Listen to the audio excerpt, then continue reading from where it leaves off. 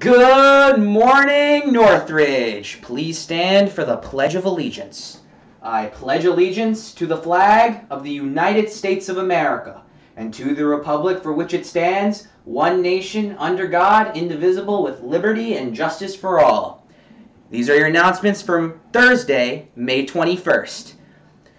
Attention Knights! It is time to celebrate our accomplishments this year. This Friday, on May 22nd, tomorrow at 7 p.m., will be the virtual high school awards ceremony starring Mr. Carbajal. This Sunday will be the virtual senior graduation ceremony at 6 p.m. And next Friday, on May 29th at 7 p.m., will be the virtual middle school award ceremony led by our very own Mr. Marsland. And frankly, my favorite director. All of these will be released on YouTube and we'll have a live chat. So enter your email for the links. We hope you can make it. So be there or be square. And that's all for your announcements today, Northridge. Have a terrific Thursday.